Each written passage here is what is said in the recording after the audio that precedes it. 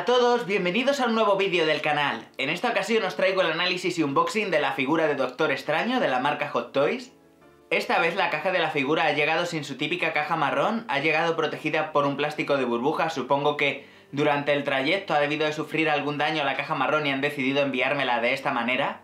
La figura la he comprado en la página de Toys TNT, así que bueno, vamos a retirarle el plástico de burbujas para empezar. Y aquí tenemos lo que sería la caja de arte, viene todavía protegida con su plástico protector, así que vamos a retirárselo. Y aquí la tenemos, nada más retirarle el plástico, la verdad es que el diseño de la caja es muy chulo. Podemos ver que sigue como una especie de patrón como el que tiene la capa del Doctor Extraño. Podemos ver por aquí diversas imágenes de Benedict Cumberbatch y de la película de Doctor Extraño.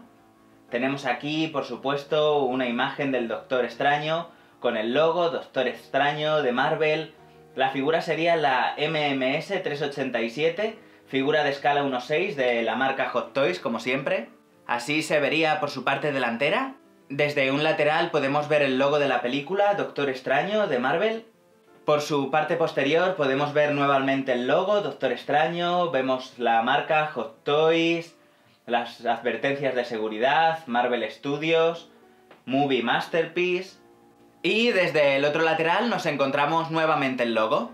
La caja de la figura tiene un cierre bastante guay, y es que girando esta parte de aquí, podemos abrir lo que es la verdadera caja de la figura, que nos deja al descubierto una ventana donde vemos la figura del Doctor Extraño. Vemos que te viene con varias magias, varios escudos, te viene también con varias manos intercambiables. Y como siempre tenemos aquí la lista de las personas que han hecho posible esta figura.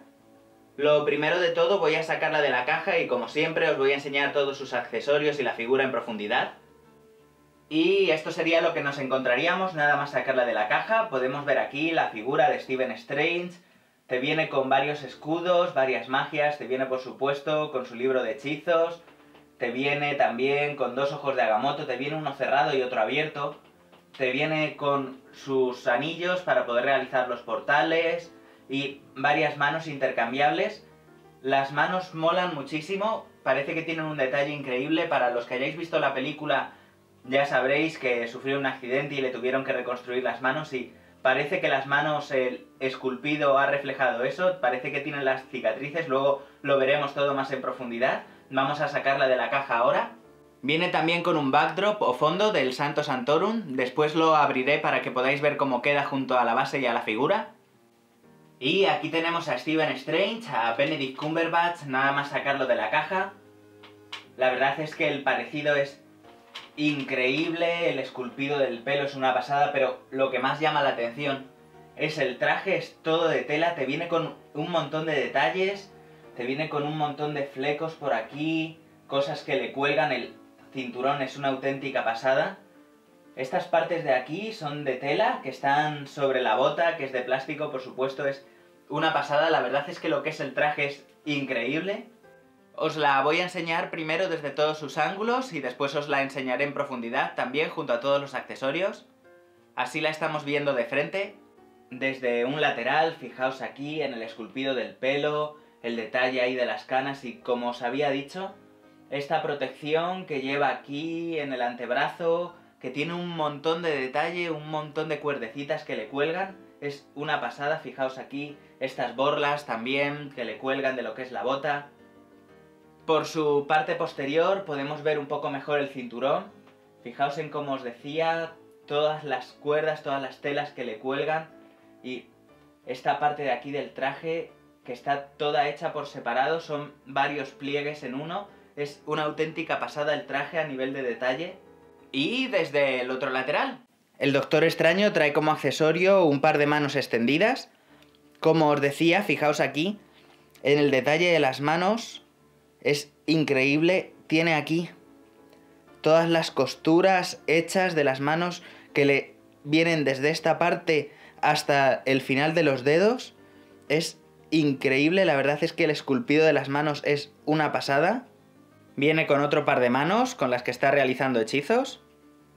Otro par de manos para agarrar cosas. Y por último, una mano para realizar bendiciones. Viene también con dos escudos de magia. La verdad están muy chulos. Son semitransparentes, están hechos como de plástico medio transparente, están muy chulos. Por la parte de atrás podéis ver que tiene aquí para poderle colocar la mano. Os voy a enseñar ahora también cómo se colocan las manos en los escudos. Y lo único que hay que hacer para ponerle la mano en el escudo es ponerla de esta manera, te viene con los huecos hechos y simplemente tenemos que introducir los dedos en los huecos que vienen para ello y como veis se queda la mano fija en los huecos y simplemente al colocársela ya estaría realizando los conjuros. Podéis ver aquí que como es transparente también se le puede ver la mano, la verdad es que el detalle de estos escudos es bastante guay. Viene con diversos aros de energía, este sería el más pequeño. Este sería el mediano que iría en lo que sería el antebrazo. Y este último sería el más grande que lo podemos conectar a los dedos de Doctor Extraño. Ahora os enseñaré también cómo queda con los dedos puestos, con la mano. Al igual que con la otra, encaja perfectamente. Le podemos poner la mano de esta manera, que la verdad mola un montón. Con este verde semitraslúcido. Viene con el libro de Cagliostro, por supuesto. Como podéis ver, tiene un nivel de detalle increíble. Y por si esto no fuera poco, el libro se abre y tiene absolutamente todas las páginas hechas. Podéis ver aquí muchas de las páginas que se ven en la película. Como esta, la verdad es que el acabado es increíble. Las páginas parece que están como envejecidas y vamos, la impresión del libro es una pasada, se ve súper claro. Es increíble que se vea así para ser tan pequeño. Me parece una auténtica pasada que hayan incluido el libro de esta manera en esta Hot Toys. Viene también con un par de anillos o mosquetones para poder realizar los conjuros y portales. Un ojo de Agamotto cerrado. Como podéis ver, el esculpido del ojo de Agamotto es increíble. Mirad también por la parte posterior y lo que sería el collar. Es una pasada, es de tela. Es súper chulo. Y el segundo ojo de Agamotto que viene abierto. También lo podéis ver por la parte de atrás, es básicamente igual salvo que está abierto. Supongo que este viene por si le utilizas con la magia del tiempo, poderle poner también con las magias verdes. Incluye también las instrucciones, por supuesto, por si tenemos algún problema al montar la figura. Un par de pegs o conectores por si se nos pierde alguno o se nos rompe para las manos. Viene con su base, que como podéis ver es una base dinámica. No me gusta demasiado que Hot Toys incluya estas bases tan grandes porque no tengo sitio donde ponerlas.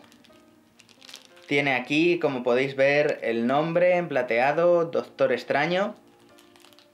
Te viene aquí con unos motivos, como los portales. Luego os enseñaré cómo queda la base colocada.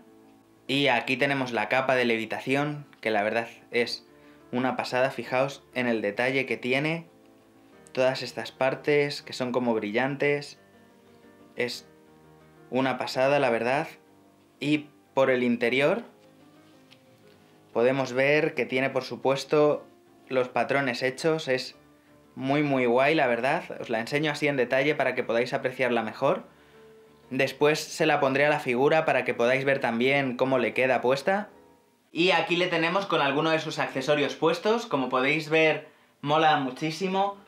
Los escudos tienen un detalle genial al ser semi-traslúcidos ya que se ve la mano y con la luz quedan muy bien.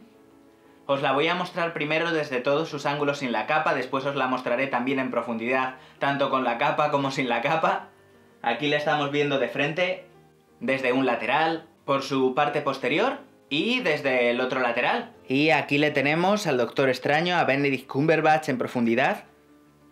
El parecido es increíble.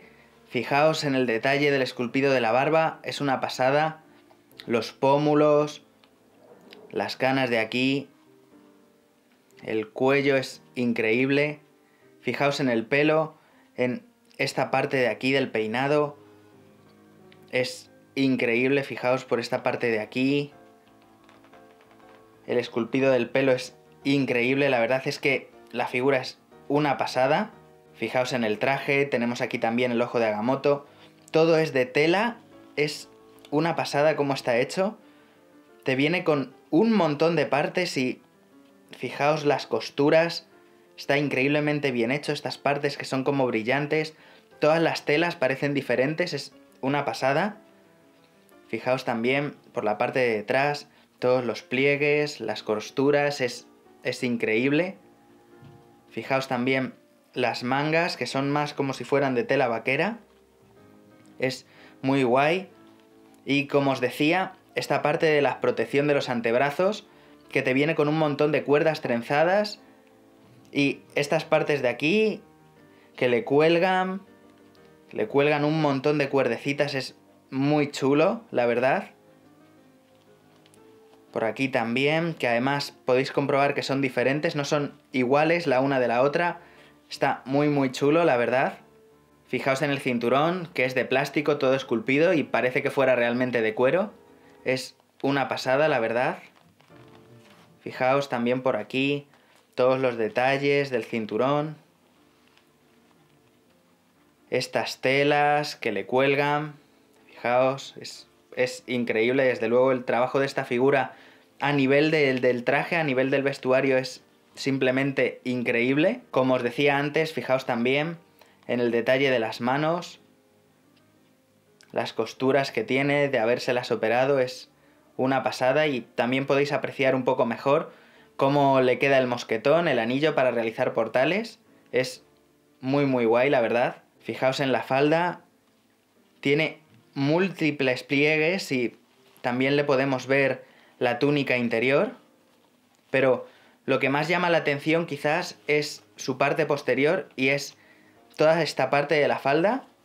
Se la podemos levantar también y es que te viene cosida, te viene hecho los pliegues individuales uno a uno, como podéis ver. El trabajo, desde luego, de hacer el traje del Doctor Extraño en miniatura ha debido de ser increíble y, joder, la calidad es muy buena. Fijaos por aquí también, que tiene como brillos, todas las costuras, todos los pliegues, es una auténtica pasada, desde luego.